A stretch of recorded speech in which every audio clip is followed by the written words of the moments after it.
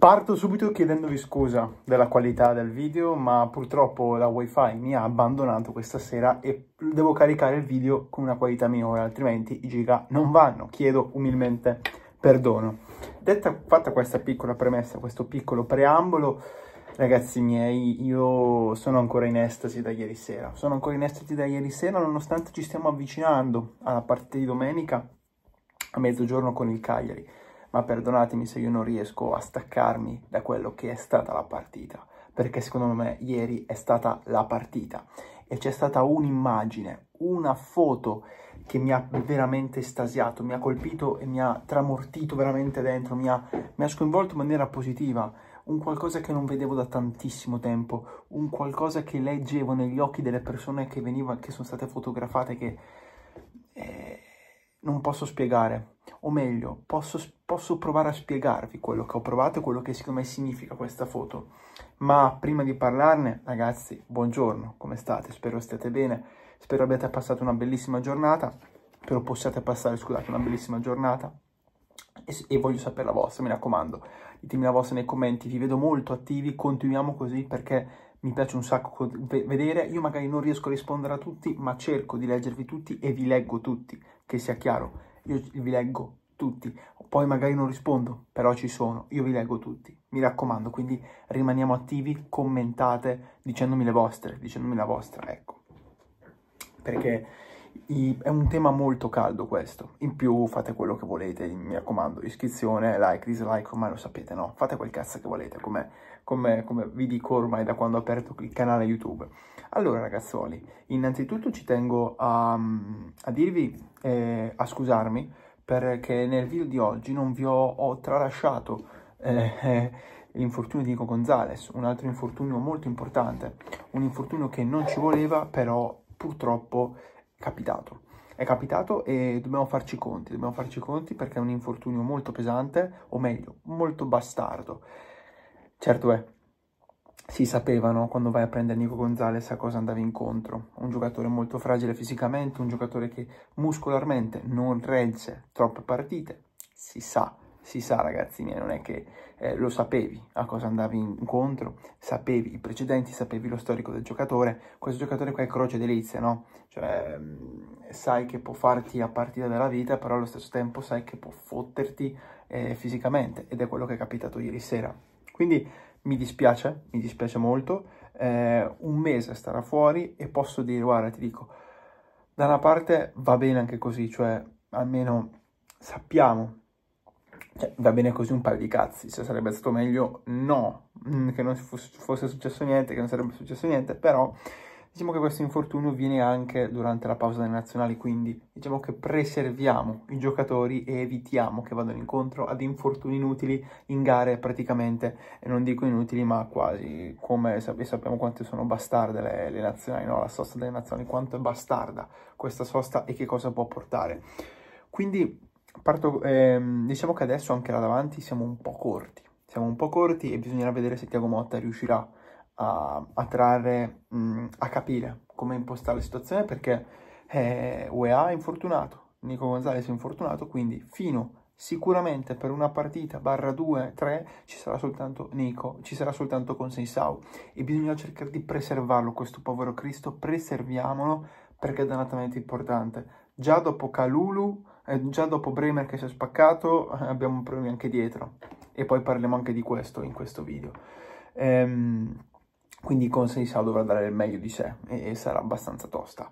Sull'argomento invece Bremer, eh, il possibile sostituto, ieri Romeo Gresti ha twittato che la Juventus non sta prendendo in considerazione l'opzione di ingaggiare un altro giocatore in difesa, o meglio, al momento. Si vedrà nel mercato di gennaio, ergo tutti i vari parametri di zero che avevamo ipotizzato nel video di ieri pomeriggio, dimenticateveli perché mh, la Juventus adesso cercherà, o meglio, per ora proverà ad andare avanti così, situazione che si evolverà nelle prossime ore, perché se magari ti capita l'occasione, eh, o meglio, la Juventus, vi dico io cosa vuol fare ed è quello che secondo me è la scelta più corretta.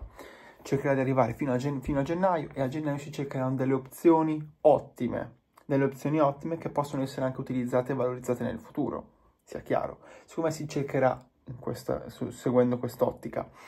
Vero è che qua vi pongo la domanda, ragazzi, ma... Eh... E Rugani?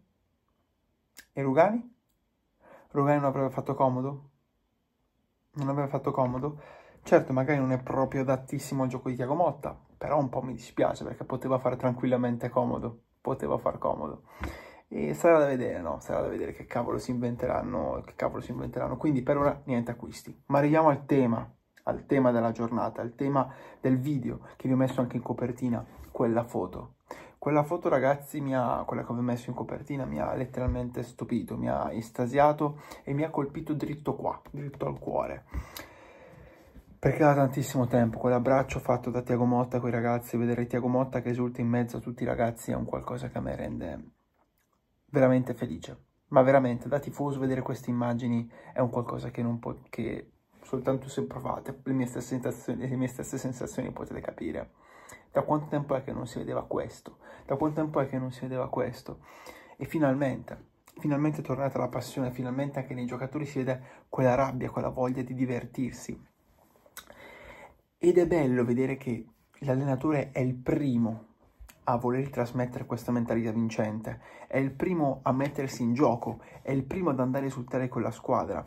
E quando c'è questo, fai vedere quanto in realtà il gruppo sia unito quindi anche i vari screzi che magari possono essere inventati, non so, magari Douglas Luiz contento perché non gioca, non mi pare. I giocatori sono tutti uniti in una sola direzione ed è un qualcosa veramente di, di bello, di magico. Veramente, io ieri quando, quando, due giorni fa, quando ho visto eh, l'esultanza di Tiago Motta, il primo ad andare a abbracciare con Seisao, io non ho retto, poi si è preso anche un bernoccolo e ci ha scherzato pure in conferenza stampa dicendo per fortuna non c'è stato il VAR, eh, Tiago Motta, eh, Tiago Motta ha scherzato dicendo che per fortuna non c'era il VAR, se no avrebbe dato il rosso a Gatti e facendo pure la battuta sul VAR che non aveva funzionato molto. Ma vi ribadisco, vedere queste immagini da tifoso della Juventus mi riempiono il cuore, ma veramente mi riempiono tanto il cuore. E sono veramente orgoglioso di poter dire che quella è la mia squadra qual è la mia squadra. Quella è la squadra per cui tifo, per cui simpatizzo e per cui mi faccio il sangue amaro ogni fottuta domenica, ogni fottuto weekend io sono qua, ogni fottuto giorno sono qua a parlare insieme a voi. Ed è questo che voglio vedere, vedere queste cose a me rende felice. Cioè ne vale la pena tutta la fatica che si fa qua. Tutte, tutta la fatica che faccio con piacere, eh? attenzione sia chiaro, però mettersi qua a parlare di, parla parlare di una squadra che ci sta facendo tornare a emozionare ne va vale tutto quello che stiamo facendo, vale qualsiasi cosa.